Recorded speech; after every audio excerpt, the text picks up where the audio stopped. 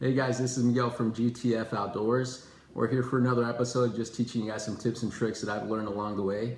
Hoping you guys can uh, pick up a few things and share that on to the next generation. Uh, today we're going to cover in this episode how to make some floating rigs.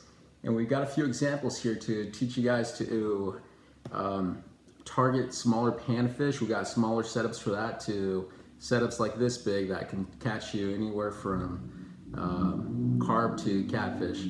So we're hoping you guys will have fun with these videos. Please subscribe to my uh, YouTube channel, GTF Outdoors, and we're hoping we'll get some more videos out there. All right, guys, see you soon.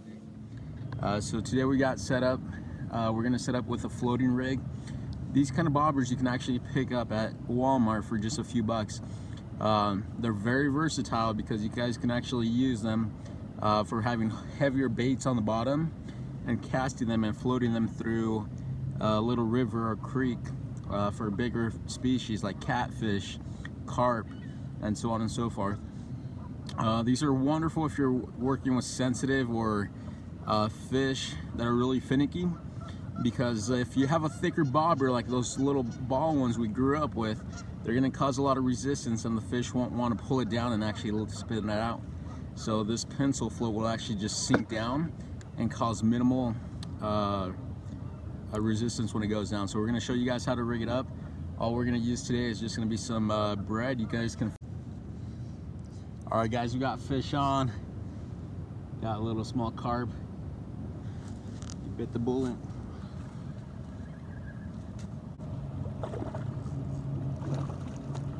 This is what I love about carp, you know, even till the very end, they're still fighting.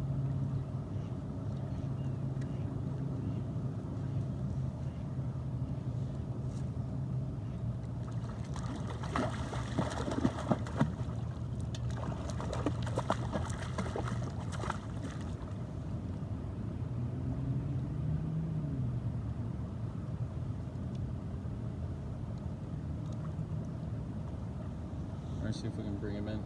Didn't bring my catch net today, but we're gonna do with what we got.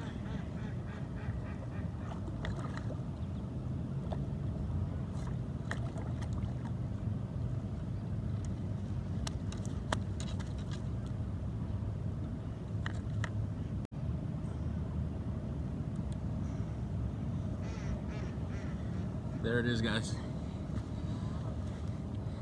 That's how you pull out some uh, beautiful fish out of uh, any one of these stock ponds, even lakes.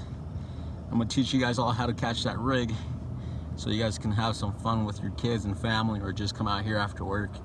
This is good stuff. All right guys, so this is the first example I wanna show you guys. This is obviously a slip float setup and we use this if we wanna make sure we adjust the depth of what, how far deep we're wanting to fish. And we set up these kind of setups this little snap swivel will actually hook up to your leader. That'll have a little loop, of course. And that leader will have your little hook at the bottom, okay? And what you're wanting to do with these kind of rigs, uh, you want to be able to target the fish and figure out how deep they are. And you might have to cast it out there a few times to just figure out how high you should slide your bobber up on your line and versus how low because that'll affect how far down below the water surface this will hang. Uh, hopefully that's where the fish are suspended and that's where you'll catch uh, most of your fish time after time. That's the beauty of it. So this will enable you guys to do that. Um, I've shown you guys here, I brought some of my fishing line. This is the Berkley Vanish six pound line. Um, most of the fish you're gonna find in a lot of these stock ponds, a lot of these lakes, um, unless you, you're, you're target fishing something bigger, a six pound fluorocarbon should do you good. Uh, the next example I want to take you guys over here. This is a setup used for obviously bigger fish. And if you notice, this is a weighted slip float. That means instead of the float being uh, all over the place, and if it doesn't have enough weight, it'll actually stay leveled out like that. But this unit actually comes with the weight on the bottom.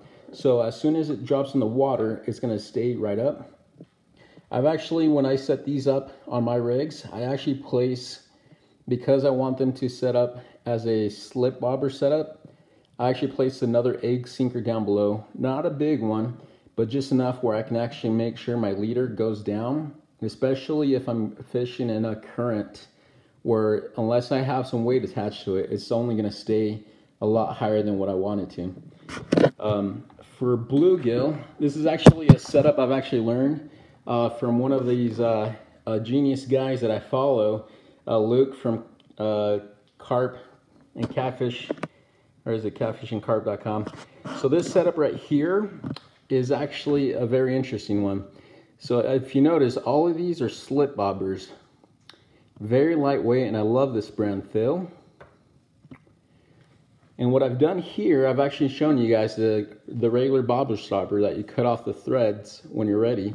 But I've also included here an image of a rubber bobber stopper. And the reason I placed it on there is because this rig right here is specially made for targeting small uh, panfish like crappie or bluegills. And the reason I say that is because when it's in the water and you've got like a little hook and you've got a little hook on the bottom of that rig, this is your water line. Because it doesn't have a weight on there, it's gonna stay that way. Okay, and what we wanna make sure we do is when we have our fish, when the fish are right here, and forgive me for a poor drawing,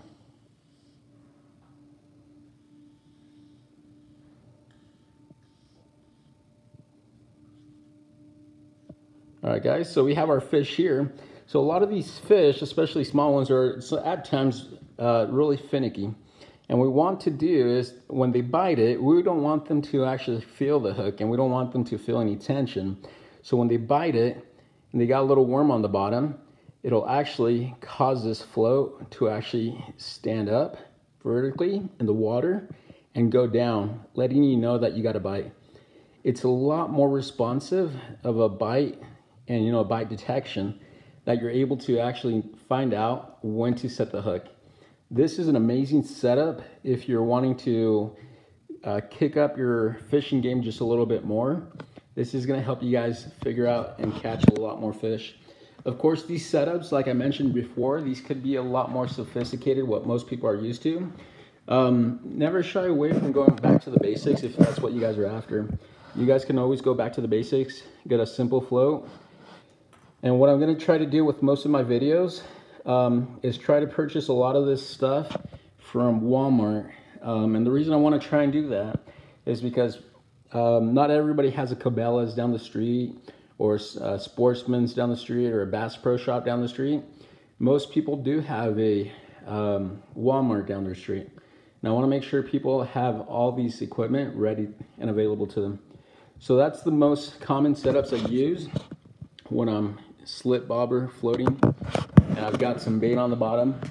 If I got like some cut bait, I'll probably use a setup like this for some carp or catfish.